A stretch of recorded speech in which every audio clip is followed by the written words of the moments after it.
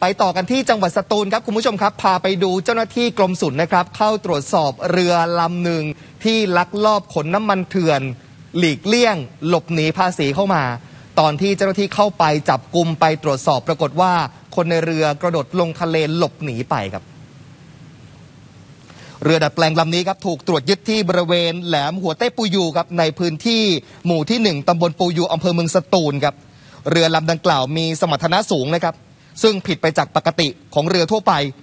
หน่วยสืบสวนปราบปรามได้ออกลาดตระเวนครับ แล้วก็ได้รับรายงานว่าพบเรือประมงต้องสงสัยลำนี้นำกำลังเข้าไปล้อมจับกลุ่มครับ แต่ผู้ต้องหาสองรายไหวตัวทันกระโดดลงทะเลหลบหนีไป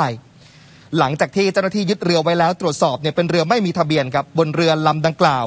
มีการวางเครื่องมือประมงเอาไว้เพื่อตบตาเจ้าหน้าที่ แต่ว่ามีการดัดแปลงเรือเพื่อบรรทุกน้ำมันดีเซลมา บรรทุกมาเต็มลำครับ6,000 ลิตร มีท่อเป็นอุปกรณ์ในการสูบน้ำเข้ามาสูบน้ำมันเข้าออกเรือด้วยนะครับขณะที่นายุทธภูมิทันทรักษ์นักวิชาการศุลกากรชำนาญการของกรมศุลกากรครับเชื่อว่าเรือลำดังกล่าวนี้นำเข้าน้ำมันมาจากประเทศเพื่อนบ้าน เพื่อมาขายในพื้นที่เนี่ยนะครับเพราะว่ามาจากสาเหตุว่าราคาน้ำมันที่มันผันผวนทำให้เกิดการแอบลักลอบนำน้ำมันเข้ามา ที่ผ่านมาครับก็มีการเข้มงวดในการติดตามป้องกัน การลักลอบนำเข้าน้ำมันผิดกฎหมายอย่างต่อเนื่องนะครับ เขาจะอาศัยในลักษณะที่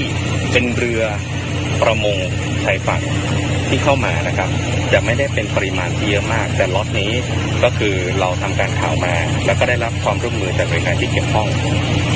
พื่อที่จะทำภารกิจนี้ให้สำเร็จต้องขอบคุณทุกๆฝ่ายครับอันนี้อันนี้เขาเอาไปส่งขายที่ไหนหรือว่าขายในทะเลหรือว่าขายขายได้หลายรูปแบบครับพอเราเขาเข้ามาแล้วเนี่ยเขาอาจจะจำหน่ายในเรือประมงด้วยกัน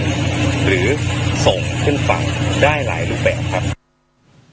ล็อตนี้ที่เจ้าหน้าที่ตรวจยึดไว้ได้ คิดเป็นเงินไทยเนี่ยสองแสนหนึ่งหมื่นบาทนะครับ